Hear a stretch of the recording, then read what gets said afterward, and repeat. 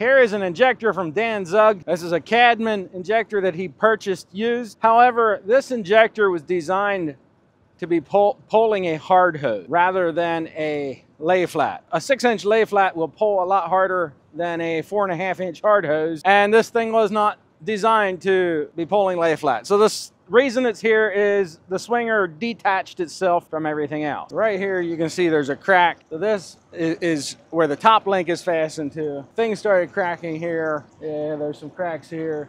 The whole bracing for the swing arm, everything pulled back.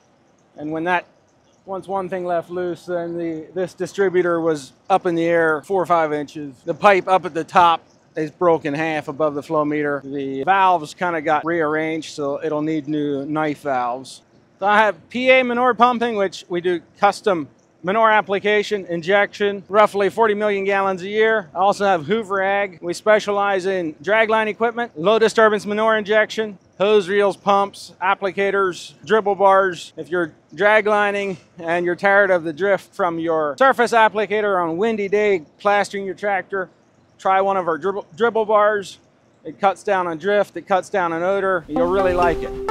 Kind of go over this swinger design and I'll show you what we're going to change and then we'll do another video later with the end result. So this swinger has a pivot right here. That way the tail can pivot. That is a good idea. They were trying to not have any manure go through the swing pipe, just going through a hose. So your hose is always going to kink right here.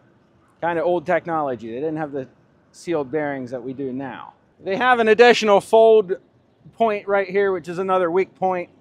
Well, really that's not needed because for this thing to be hauled on the road with a truck, you have to haul it on a, semi open the whole way anyways, so just take the swinger out the side. There's a lot of convoluted plumbing. This is their pig dump, and then it goes down, goes up through a flow meter, and back down to the distributor. So we're going to change that We'll put the pig dump out on the end of the swinger. So that's out there. It's away from the tractor so things aren't getting all splattered up. We'll go in through the swing arm, through the flow meter, and right into the distributor. This injector has Dietrich shanks. They are great for high gallons per acre with no rocks. This shank with a sweep on the bottom will cover manure better than anything else out there. However, it's all it's a chisel plow. And if you have rocks, you're gonna know it because they pull everything up.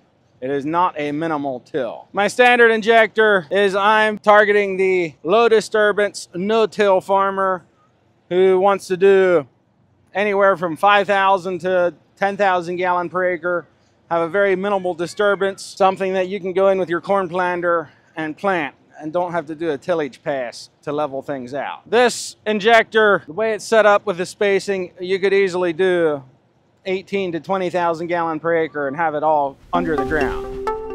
An additional thing that we're going to change here is the swinger position. So they have the swinger like five feet behind the tractor. I'm not sure why. That makes it harder to turn around because when you come to the end and you start turning, it, it's a lot more side pull on the tractor. So we're going to move that swinger pivot up here as close to the tractor as we can. And we'll also have our stops front. So when, when you turn around, the swinger can come clear to the front of the injector. It makes it easier to turn around. That is something we have learned in the past. The closer to the tractor you get the swinger, the easier it is to turn around. Monday, July 29th, we're going to have a field day at the Zugstead Farm, and we look forward to seeing you there. If you want to find out more, visit my website, or you can call me on my cell phone or see the description below.